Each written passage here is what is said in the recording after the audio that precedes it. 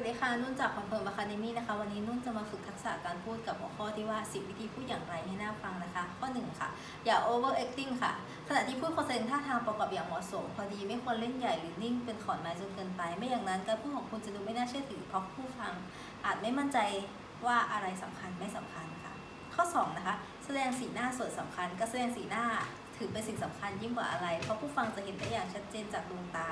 ดังนั้นควรทำให้สีหน้าเบิกบานอยู่เสมอ เพราะนอกจากท่าทางทั้งหมดแล้วสีหน้านี่แหละเป็นหัวใจสำคัญที่ผู้ฟังให้ความสำคัญกับผู้พูดค่ะ 3. บุคลิกชัดเจนค่ะ บุคลิกที่เป็นของตัวเอง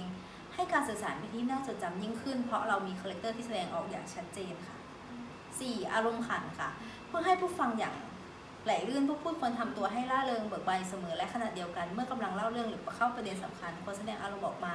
ตามเนื้อหาอย่างเหมาะสม เพื่อให้แสดงถึงความลึกซึ้งให้คำพูดดูน่าเชื่อถือยิ่งขึ้นค่ะ 5. พูดอย่างหนักแน่นคำพูดที่มีพลังมีอำนาจในการเปลี่ยนแปลงหรือประโยคเด็ดๆที่ดีต้องมีอารมณ์ความรู้สึก ระดับเสียงที่หนักแน่นเพื่อให้การสื่อสารพูดออกมาดูมีพลังค่ะ 6. ก็คือสูดหายใจเข้าลึกๆ สูดเข้าสูดเข้าลึกๆช้าๆก่อนพูดเป็นหนทางหนึ่งที่ช่วยให้คุณคลายความกังวลก่อนพูดค่ะ 7. เก็บมือเมื่อไม่จำเป็นหากมีความ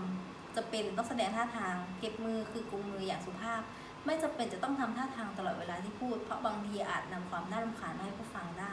นอกจากนี้ยังทำให้เสียสมาธิอีกด้วยค่ะ 8. ค่ะ ใช้ระดับภาษาให้ถูกต้องควรพูดให้เหมาะสมตามกาลเทศะและโอกาส เช่นเมื่อพูดกับคนจำนวนน้อยก็ควรพูดด้วยเสียงที่ไม่ต้องดังมาก แต่ชัดเจน ส่วนพูดกับคนที่มีมีจำนวนมากต้องพูดให้ดังและชัดเจนค่ะ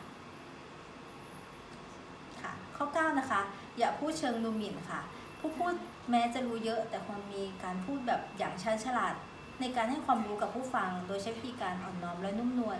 แทนการโอ้อวดและคุยโวใหญ่ตัว หากทำอย่างหลังอาจได้ผลตรงข้าม ยิ่งทำให้คนฟังไม่ยอมรับนับถือค่ะ 10. ยิ้มเสมอค่ะ สิ่งสำคัญอันดับแรกเลยคือ ต้องยิ้มเพื่อให้ผู้ฟังอุ่นใจ เพราะว่าคุณพูดกับเขาด้วยทัศนคติที่ดีค่ะ